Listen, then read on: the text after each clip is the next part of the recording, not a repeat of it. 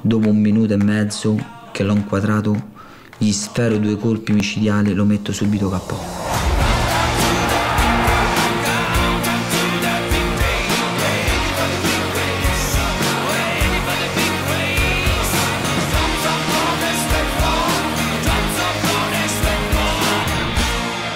aveva la soffa subito, si è visto subito. La soffa del campione, del guerriero, l'uomo che non indietreggia mai.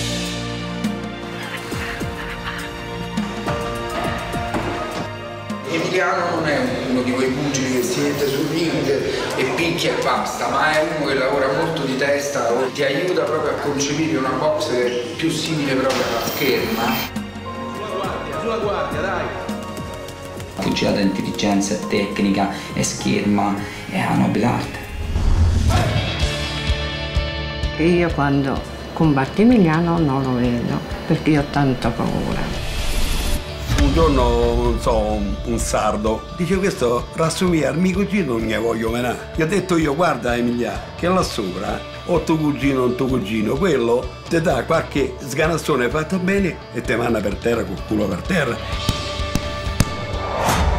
Il pugilato in Italia è molto difficile. Abbiamo le televisioni che hanno sposato il calcio e per gli altri sport minori c'è ben poco.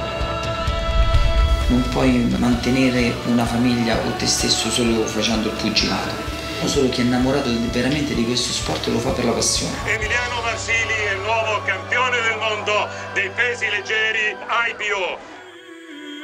Io un giorno sarò un grande campione.